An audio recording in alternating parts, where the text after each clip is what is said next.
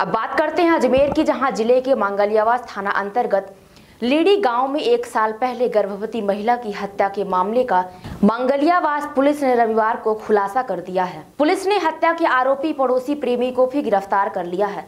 पूछताछ में आरोपी ने बताया कि कहासुनी को लेकर आवेश में आकर धक्का दिया और सिर में चोट लगने से उसकी मौत हो गई थी। थाना प्रभारी सुनील ताड़ा ने बताया कि मृतका की सास कंचन पत्नी शिवकरण मेघवाल निवासी लीडी ने एक रिपोर्ट इस आशय की पेश की थी कि वह ग्राम लीडी की रहने वाली है, जो उसका पीहर है, उसके दो पुत्र भी हैं।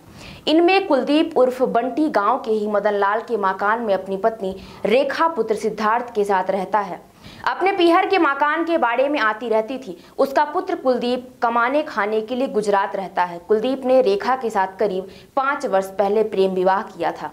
रेखा का पीहर नानू राम खारोल निवासी पुलिस लाइन के पीछे चपरासी कॉलोनी भीलवाड़ा है। गत 28 मार्च 2021 की रात्रि में उसकी पुत्रवधु खाना खाकर सो गई थी। अगले दिन सुबह करीब सात बजे होली के दिन कुछ बच्चे उसके घर पहुँचे तो रेखा मृत अवस्था में मिली थी। मंगलियावास पुलिस ने प्रकरण दर्ज कर अनुसंधान समंदर सिंह भाटी, एसडीएम पिसांगन को सुपुर्द किया है। अनुसंधान व मृतका के पति कुलदीप के संदेह पर अनुसंधान शुरू किया गया था।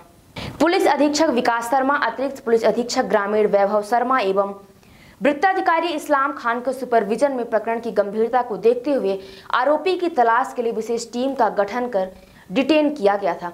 पूछताछ में पाया कि रेखा पत्नी कुलदीप का प्रेम विवाह पाँच वर्ष पूर्व हुआ था। उसके बाद रेखा व रेखराज पुत्र मुन्ना लाल मेघवाल के बीच सात आठ महीनों से अवैध संबंध थे।